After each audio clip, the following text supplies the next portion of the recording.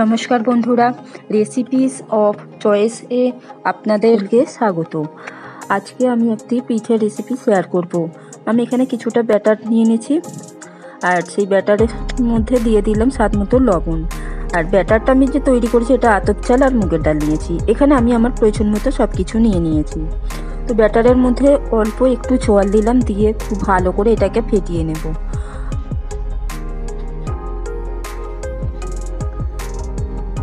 এবার আমি এর মধ্যে দিয়ে দিলাম পেঁয়াজ কুচি। সরি, পেঁয়াজ কলি দিলাম আর দিলাম কাঁচা লঙ্কা।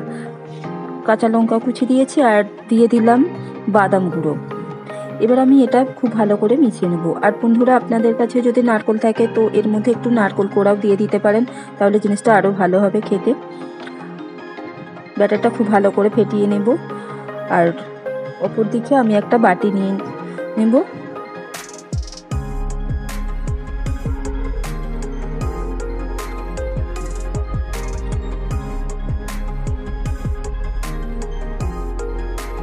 বাটির মধ্যে দিয়ে দিলাম দুই টেবিল চামচ চিনি আর দু টেবিল চামচ দুধ আমুল পাউডার দিয়ে দিলাম। এবার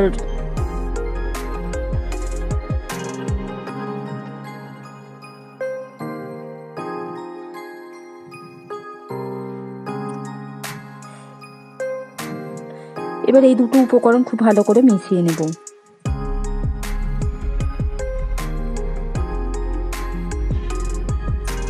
আর এদিকে আমি কড়া বসিয়ে দিয়েছি। কড়াকে একটু গরম হতে দেব। কড়ার মধ্যে আমি খুন্তির সাহায্যে সামান্য একটু তেল দিয়ে দিলাম। তেলটাও আমি গরম হতে দেবো। খুব ভালোভাবে তেলটা গরম হয়ে গেলে তারপর ব্যাটারটা এর মধ্যে দিয়ে দেবো। তো আমি এখানে ছোট একটা হাতা নিয়ে নিয়েছি। সেই হাতার সাহায্যেই ব্যাটারটা কড়ার মধ্যে দিয়ে দেবো। এক হাতা ব্যাটার দিয়ে দিলাম। এবার এর মধ্যে ওই দুধ চিনির মিশ্রণ একটু ছড়িয়ে দেব। দিয়ে তারপর আমি ঢাকা দিয়ে দেব।